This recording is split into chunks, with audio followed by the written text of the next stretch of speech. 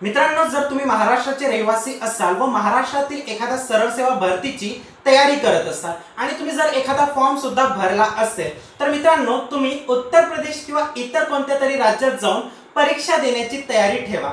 आता तुम्ही म्हणणार की हे काय गंमत सुरू आहे? तर मित्रांनो गंमतच सुरू आहे. हे जे शासन आहे ना ते आपल्यासोबत गंमतच करते. मित्रांनो आपण दिवस रात्र कष्ट करून अभ्यास करायचा विविध परीक्षांची तयारी करायची आणि पैपे जमा करून आपण फॉर्म भरत असतो. त्यानंतर काय होतो? एकतर परीक्षा होतात किंवा परीक्षा वारंवार लांबविले जातात.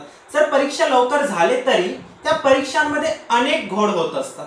तर अशाच पद्धतीचे घोड झाल्याची बातमी आरोग्य विभागाच्या परीक्षेच्या संदर्भात येत आहे. तर मित्रांनो तुम्हाला माहितच आहे पंचवीस आणि सव्वीस सप्टेंबरला आरोग्य विभागाच्या गट ड ची परीक्षा आहे. आणि यामध्ये एका विद्यार्थ्याचा सेंटर थेट उत्तर प्रदेश येथील नोएडा येथे लागलेला आहे. बघा मित्रांनो कसा अजब प्रकार आहे. महाराष्ट्रातील सरळ सेवा भरती परीक्षांमध्ये असे अजब प्रकार घडतच असतात. तरी सुद्धा शासन सुधारायला काही तयार नाही. मित्रांनो काही विद्यार्थ्यांचे जे सेंटर आहे त्यातील जे शहरांची जी नावे आहेत ते तिथं प्रिंट झालेले नाही. मग त्या विद्यार्थ्यांनी जायचं कुठं आणि परीक्षा द्यायची कशी? असे प्रश्न निर्माण होत आहे आता दरवेळेस अशाच पद्धतीचे घोड झाल्यानंतर सुद्धा जर शासन सुधारत नसेल तर यात चूक कोणाची आहे? चूक तर आपलीच आहे ना? कारण आपण दिवस रात्र कष्ट करून अभ्यास करत असतो. म्हणून चूक आपलीच आहे. आपली चूक आपल्याला स्वीकार करावीच लागणार.